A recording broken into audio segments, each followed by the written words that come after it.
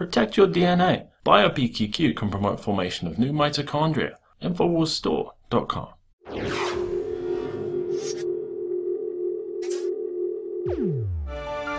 It's not just medical tyranny, it is full spectrum tyranny.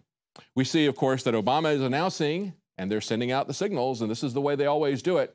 He's going to have executive orders on the cybersecurity data threat. So we've seen this coming. They even point out in the article this is something they're justifying based on the hack of Sony over the interview.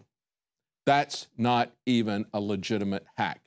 It doesn't threaten anybody. Nobody was harmed with that. But most people say that it was an inside job. Security experts say that it was an inside job. It was not North Korea. Nevertheless, Obama hasn't been able to get CISPA through. The Democrats and those who want to run CISPA through, and I would say Republicans want it as badly, if not more so, than the Democrats do.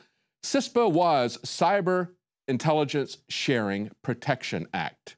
And so when they started talking about cyber intelligence sharing right after the Sony hack, you knew where this was going. You knew they were bringing back CISPA yet again.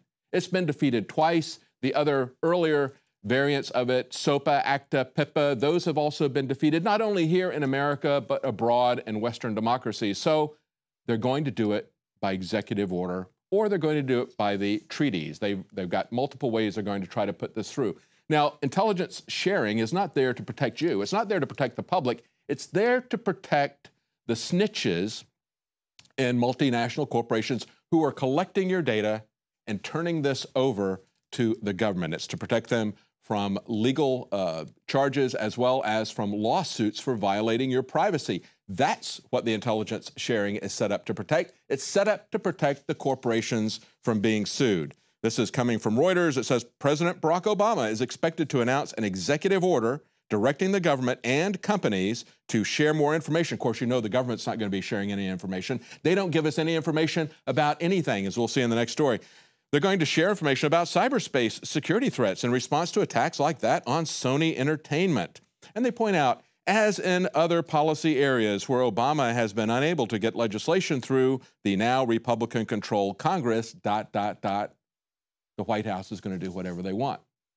Let's take an, an analogy. Let's say that you had a sheriff in town, and the sheriff said, I've been trying to get the, the town to pass a law to outlaw fill in the blank. I don't care what it is. I want them to outlaw that and put heavy fines and jail terms on that.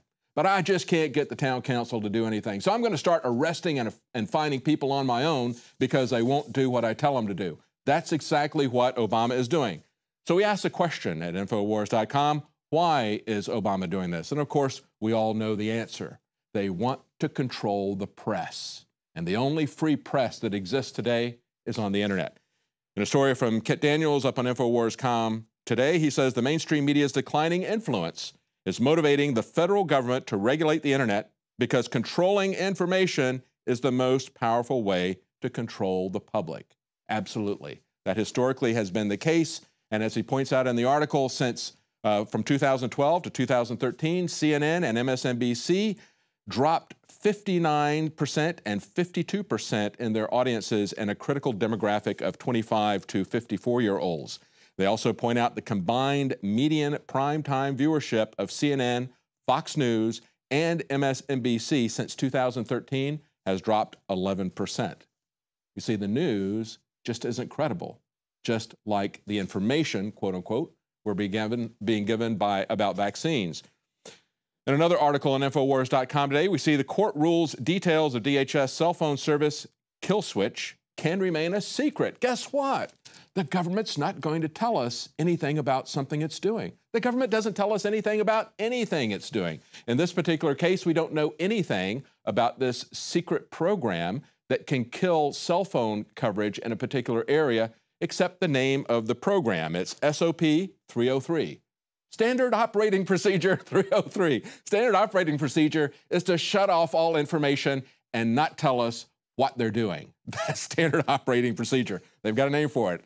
SOP 303. I guess we should say SO3 SOP 303 for everything. They say the U.S. Court of Appeals, however, in Washington has ruled now that the Department of Homeland Security's procedure for shutting down cell phone service during a declared emergency can remain secret. This was a lawsuit that was brought by the Electronic Privacy Information Center, EPIC, after the DHS failed to release its criteria for network shutdowns following an incident in 2011. See, they've already done it. They've already done it. This is not science fiction. This is not conspiracy theories. This is our wild imaginations. No, it was actually four years ago. Government officials in San Francisco disabled cell phone service during a peaceful protest. Disabled cell phone service during a peaceful protest. Why would you need to have cell phone service showing a peaceful protest? Well, it might be because the police are not planning on being peaceful. Nevertheless, they say the demonstration was against the police killing of Charles Hill, a homeless man who was shot dead by a Bay Area rapid transit officer. And as they point out, they try to get information about what criteria do they use to shut it down. It isn't that we're looking to see if they have the capability. We know they have the capability. What are the criteria? The DHS initially said, well, we don't have any information about that. The agency is, quote, unable to locate or identify any responsive records. The judge didn't like that. The judge at the district court level ruled that the feds had improperly withheld the information and he ordered its release. So then they filed an appeal. And now they don't have to talk. As Al Jazeera pointed out, your location data is your life, and police want it all. In this particular article, they're talking about using license plate readers to track your movements. Well, of course, as we've seen and reported a couple of years back in 2009, the DEA was going to record license plates at gun shows. They were going to use the old technology of driving around and photographing license plates of people who had gone to gun shows. This is the DEA. This is not even the Bureau of Alcohol, Tobacco, and Firearms. This is the Drug Enforcement Agency. And they were going to do that.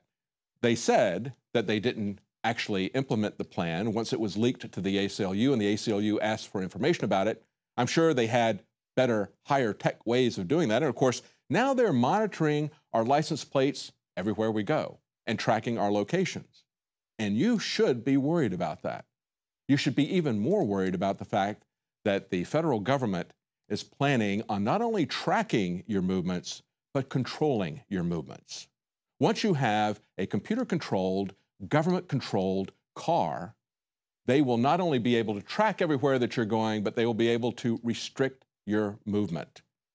Controlling movement is a key cornerstone of tyranny, and they're working to effectively shut that down. At the same time, they're going to shut down the internet with kill switches, shut down your cell phone with kill switches, and spy on you. Of course, they have the Stingray program, and uh, they will not release information about that because they have something that is more important than a judicial order, that is more important than the Constitution, and that is a non disclosure agreement with Harris Corporation, an electronics company. That's what the police told a judge when he said, I want to see the information about the Stingray program. They said, no, we can't do that. We've got a non disclosure agreement. And he said, not with me, you don't. At which point they just removed the charges from the person because they will do anything for the corporations. They will do nothing to support the oath that they took to get their job, the oath they took to the Constitution. Well, stay with us right after the break. We have an amazing admission from a grandmother who gets ISIS to admit that the CIA is giving them weapons. Stay with us. We'll be right back.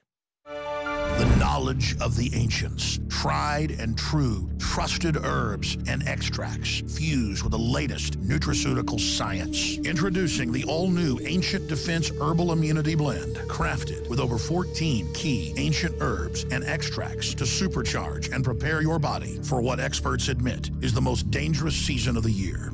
We have rejected hundreds of other formulations in our quest to bring you what is simply the most powerful and comprehensive proprietary formula that we have ever created in the realm of herbal immunity. For the last two years, our team has been working with top doctors, nutritionists, and chemists to develop the ultimate nutraceutical formulation. Experience the benefits of combining over 14 ancient herbs and extracts with exciting new advances in nutraceutical science. For a limited time, get 25% off on this introductory offer. Visit ancientdefense.com or call 888 253 3139. Ancientdefense.com.